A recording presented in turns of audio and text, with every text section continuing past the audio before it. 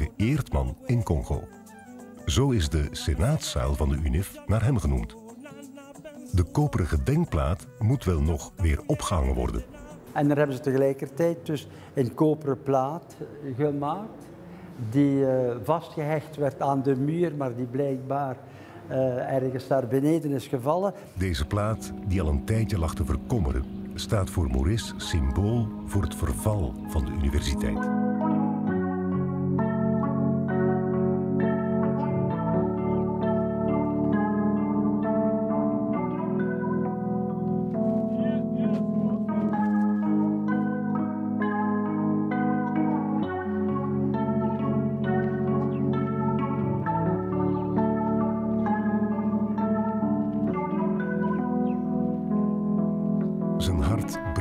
Hij terugdenkt aan de glorietijd van Lovanium.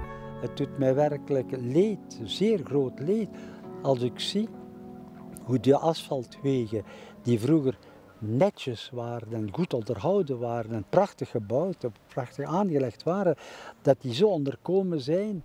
Niet tegenstaande het feit dat we hier op een universitaire campus wonen. Dus waar uh, allerhande professoren zitten, van economie, uh, professoren van de faculteit Polytechniek, van de ingenieurstudies, van agronomie, waar mensen zitten met allerhande zeer uh, gevorderde opleiding, dat het bewustzijn en de beslistheid van een eigen omgeving goed te onderhouden niet aanwezig is.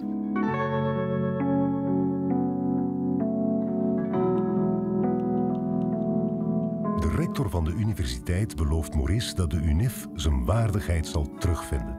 Il fallait maintenant refaire la connaissance des textes, appliquer les textes, la rigueur, et cela va donner la valeur à notre université. C'est ainsi que nous avons commencé à nettoyer, à appliquer les textes, à sanctionner.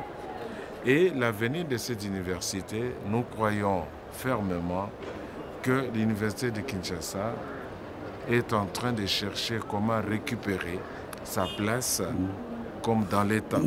Une université de référence, une université d'excellence. En met deze woorden in gedachten zetten we voorlopig een punt achter Kinshasa en vliegen naar Kananga.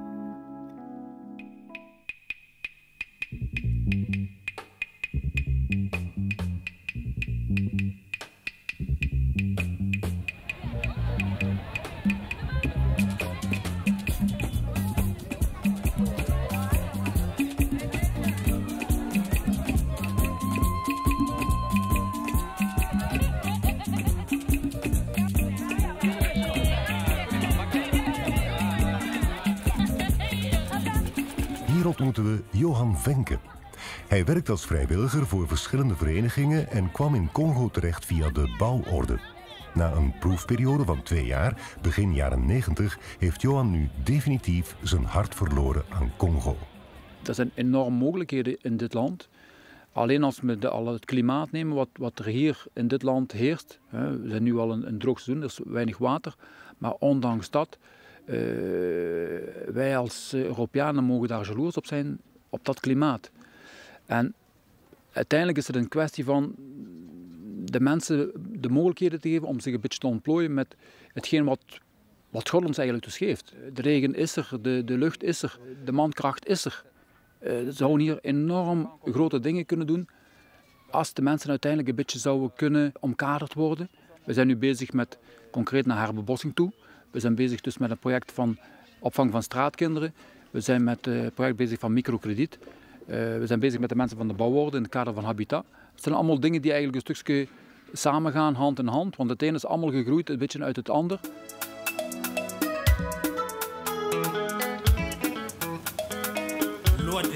Johan is fel begaan met de natuur. We zijn op weg naar een van zijn projecten rond herbebossing. Onverwacht hebben we een ontmoeting met Mwamba Elia, profeet van de Église apostolique au Congo.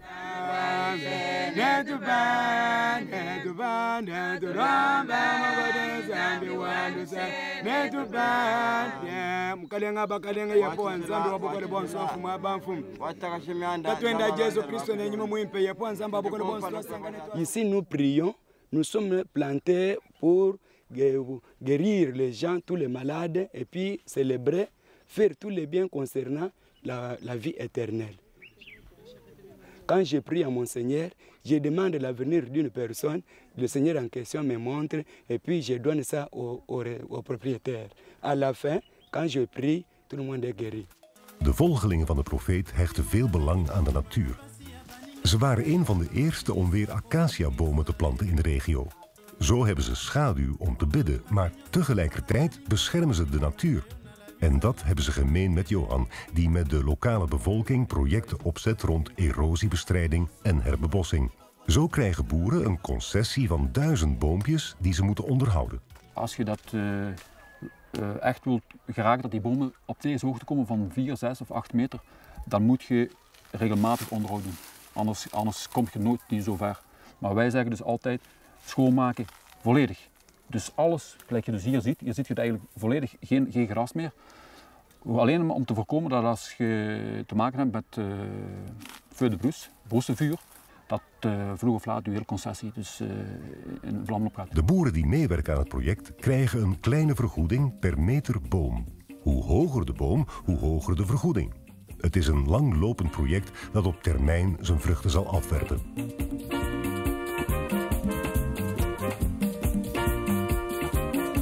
De NGO APRE heeft ook een eigen boomkwekerij. Het zijn vooral acacia's die gebruikt worden voor de herbebossing. Een acacia is dus een boom die dus eigenlijk het, droogseizoen doorkomt. Dat wil zeggen dat hij diep de grond in, moet gaan met zijn wortels om uiteindelijk nog, uh, nog vochtigheid te krijgen. Like deze bijvoorbeeld. Deze boom die heeft dus al uh, een wortel die al ver buiten het zakje dus gaat. Maar daar moet je dus voor zorgen dat ze niet met hun wortels in de grond gaan. Dus wat, wat doen wij nu?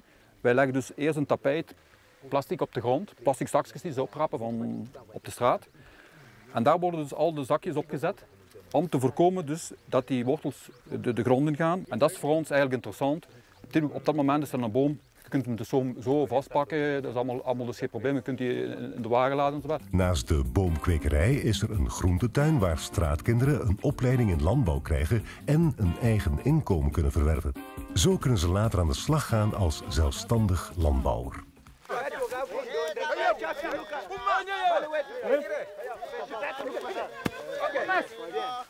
Het vrijmaken van de concessie is niet altijd zonder gevaar.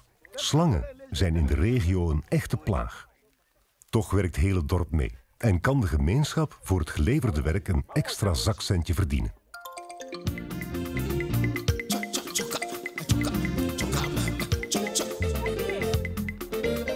Een van de enthousiaste boeren die meewerkt aan het project is Emile Ndumbi.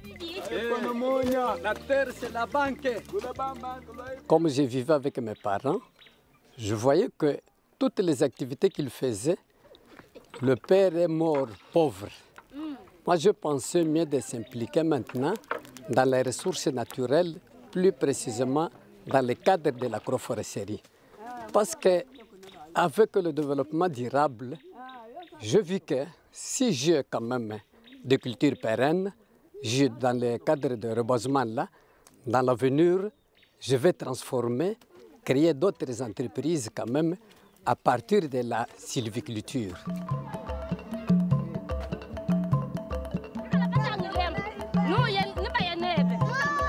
Het leven in de kassaai loopt al eeuwen op eenzelfde ritme. Dagelijks moeten er kilometers afgelegd worden om te voorzien in de basisbehoeften groente, fruit, water, wat vis of vlees en sprokkelhout of houtskool voor het koken. Omdat er bijna geen elektriciteit is, is er veel hout nodig. Het kappen van de bossen blijft een groot probleem. Dat zorgt voor erosie. Hier even buiten Kananga dreigt een groot gevaar. Op deze heuvel wordt druk gebouwd, maar de huisjes zullen ongetwijfeld bij het komende regenseizoen ten prooi vallen aan het wassende water. Een paar jaar geleden was hier eigenlijk nog weinig uh, beweging te zien. Maar de afgelopen jaren zien we dus concreet.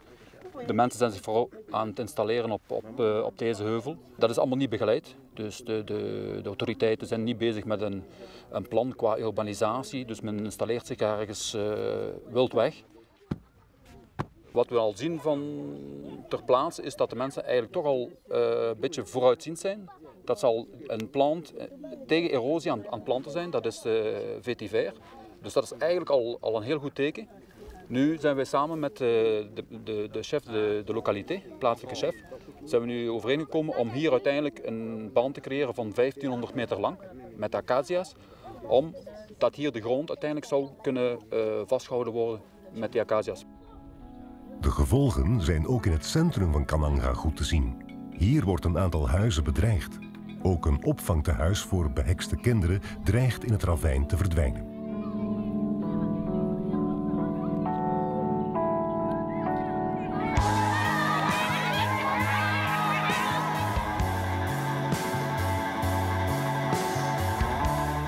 Kankala is een gesloten opvangcentrum voor straatkinderen dat gesticht werd in de schoot van de bouworde. Bedoeling is om de kinderen niet zomaar op te vangen, maar ze ook weer een thuis te geven.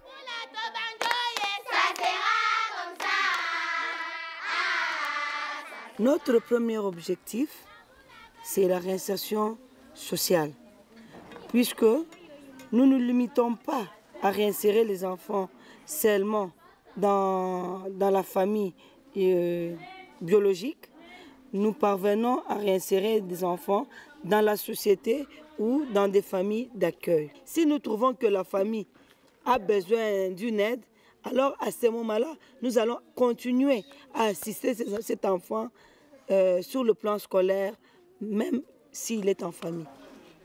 De kinderen van Kankala krijgen de kans om te studeren in een erkende school. Alors dans notre organisation interne, nous donnons la chance que l'enfant qui passe par chez nous, dans notre centre de professionnalisation, ait la chance d'apprendre tous les trois métiers. Donc il apprend directement la maçonnerie, la menuiserie et l'agriculture. Mais pour le diplôme, lorsqu'on est en train d'évoluer à la troisième année, nous verrons que l'enfant est apte dans tel domaine. C'est dans ce domaine-là que l'enfant aura son diplôme.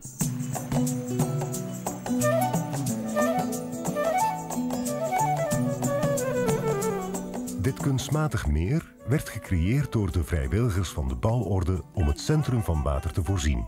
Cette eau nous permet aussi euh, de remonter jusqu'au centre. D'ici jusqu'au centre, il y a 30 mètres. Alors, nous avons derrière moi, vous voyez, il y a une pompe à roue.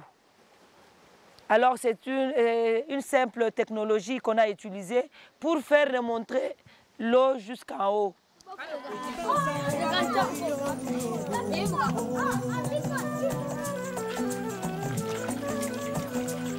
Naast een gesloten opvangcentrum is er ook een open instelling. Vrouwen kunnen een kleine renteloze lening krijgen om een eigen handeltje op te zetten. Pour réussir la vie de, l'enfant, il faut reculer jusqu'à la base. À la base, c'est où? C'est dans la famille. C'est pourquoi vous voyez les mamans. Les mamans, nous travaillons avec eux, nous donnons des activités génératrices de revenus. Alors, ils ont chaque, chaque mois deux fois une réunion. Alors, ces réunions-là, ce sont des réunions de suivi, de contrôle, de voir vraiment si l'activité qu'on a proposée à la maman fonctionne ou ça ne fonctionne pas. Là, ce n'est pas pour aider le seul enfant qui était dans la rue, c'est pour aider toute la famille et stabiliser la famille entière. biscuit, bonbons, sucre, La maman vend des biscuits, des bonbons D'abord, puisqu'elle reste à côté d'une grande euh, école de la ville, alors elle préfère vendre les biscuits, les bonbons, les histoires que les enfants, les élèves peuvent facilement acheter.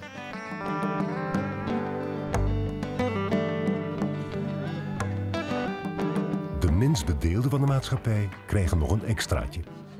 Notre objectif est de renouer les relations entre la famille et l'enfant qui traînait derrière le marché. Maintenant, si la famille parvient à accepter cet enfant-là, nous les appuyons en nourriture et nous scolarisons aussi cet enfant-là. Even verderop in de stad zien we opnieuw dezelfde tafereelen. Weduwen en bejaarden krijgen een beetje geld toegestopt om de eindjes aan elkaar te knopen. Als de oudjes aangeport worden om voor ons te zingen, ben ik wel even beschaamd. Ik noteerde het zo in mijn dagboek. Moeizaam kruipen de oudjes recht en voeren een nummertje op. Het is triestig om deze ouderen te zien huppelen en zingen. Ik voel vooral schaamte. Maar voor het geld dat uit Europa komt, moeten ze deze keer maar eens iets doen. Het gezang is schor.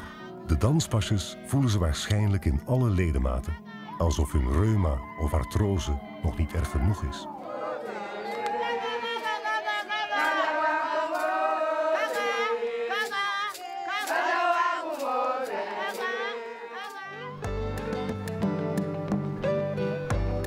Ook van het bezoek aan het ziekenhuis word ik niet vrolijk. Iedereen kent uiteraard deze beelden van op tv, maar als je er in het echt tussen staat, is het toch anders. Blije gezichten zien we wel in de kraamafdeling. Maar hoe lang? De kans dat dit pasgeboren kindje één jaar wordt, is minder dan 50 procent.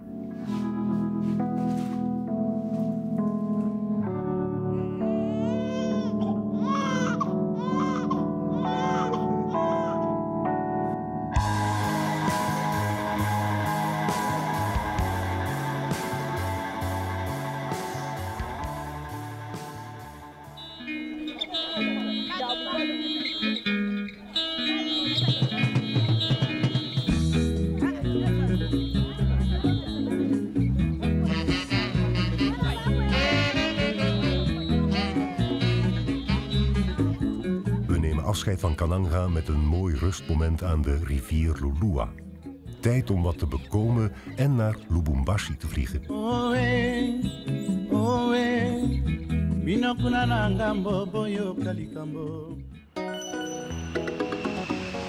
Mouvement eza bakoto oyo le grand mayasa le grand libanais tous les cas avion ekokende komio Van daaruit volgt een dagrit over stoffige wegen naar Kolwezi. Deze stad is al 100 jaar het centrum van de Congolese mijnontginningen.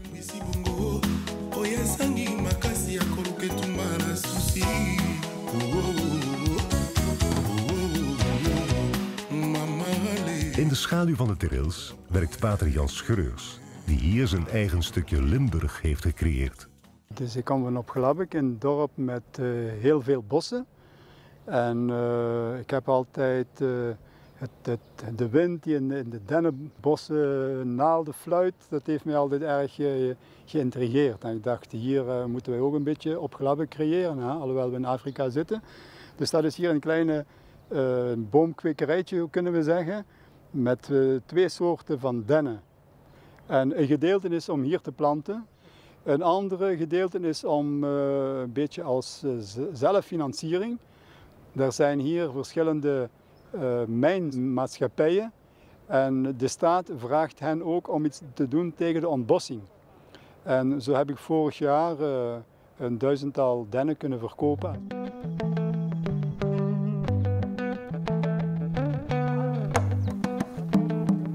Naast de boomkwekerij is er een groentetuin, een boerderij met kippen, geiten, varkens en koeien. Ook de garage en de schrijnwerkerij zorgen ervoor dat het seminarie in zijn eigen onderhoud kan voorzien. Jan staat aan het hoofd van het seminarie van Kolbezi en is de allerlaatste blanke priester in de regio.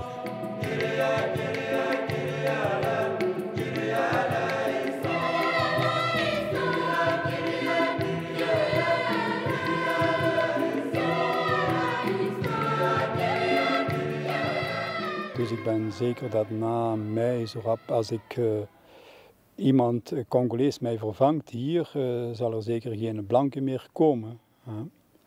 Mijn voornaamste taak is natuurlijk de vorming van onze jongeren. Maar dat is niet alleen maar een religieuze vorming en een intellectuele vorming. Dat is ook een vorming, een voorbereiding op het praktische leven, wat hen te wachten staat.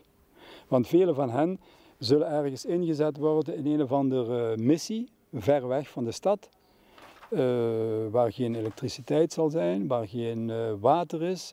Dus het is wel belangrijk dat, dat zij een integrale vorming krijgen. Jan heeft zich jaren verdiept